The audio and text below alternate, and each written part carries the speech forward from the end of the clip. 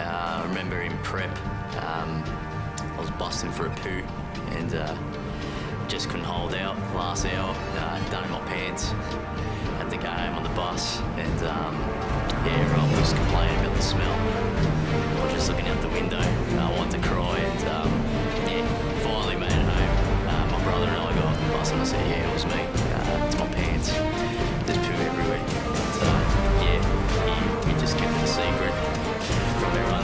so. Uh,